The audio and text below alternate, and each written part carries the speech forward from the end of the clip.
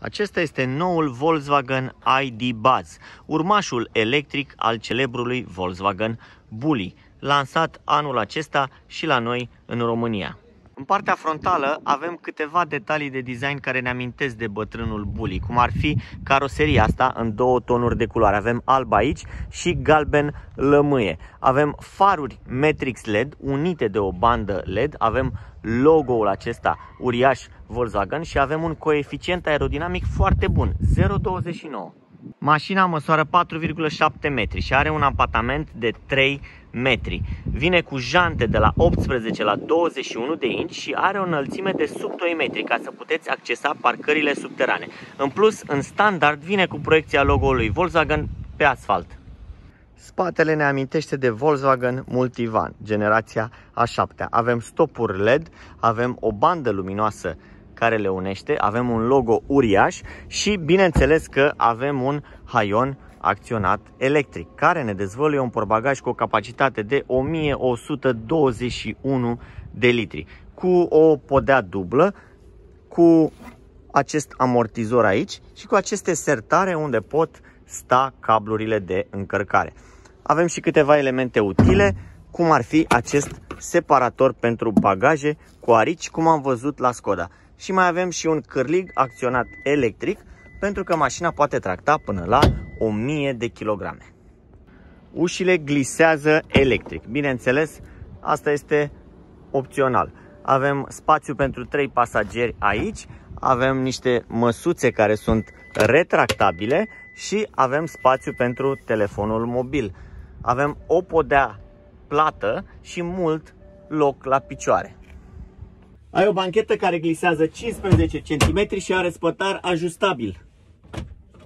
Ai și un sertar aici pe care este desenată harta lumii.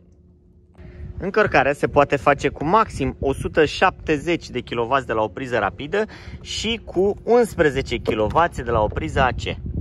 Motorul nu se ascunde aici, motorul este amplasat în spate, ca la vechiul Volkswagen Bully. Sub mașină avem o baterie de 77 de kWh care asigură o autonomie de 425 de km. Așa arată planșa de bord. Ea poate fi comandată în 5 culori. Acesta este galben lămâie, la fel ca nuanța de caroserie. Ai multe spații de depozitare aici în portiere și pe planșa de bord, implicit un suport de pahare ca la Volkswagen Multivan. Suportul de telefon este ascuns aici. Ai scaune îmbrăcate într-o tapiserie ecologică, pentru că 10% din acest material este creat din plasticul colectat de pe fundul oceanelor, iar 90% este preluat de la sticle PET reciclate. Aici stă ascunsă cheia, ăsta este controlul luminilor, avem același volan ca la ID3, ID4, ID5 și un ecran care poate ajunge până la 12 inch. Standard, el are doar 10 inch. Nu știu ce s-a întâmplat între Volkswagen și BMW, însă ID Buzz nu mai are selectorul ăla de viteze ca la BMW i3.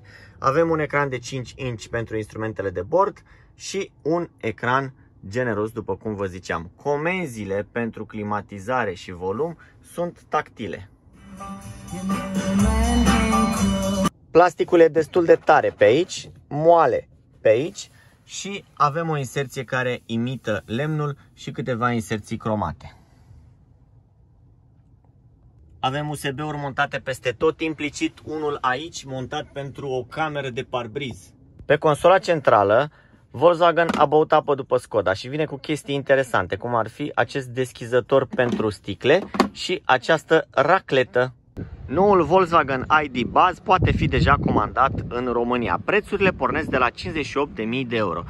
El este disponibil cu o variantă cu 5 locuri, cea cu 7 locuri se va lansa la anul, iar uh, motorizarea disponibilă este doar cea de 204 cai putere.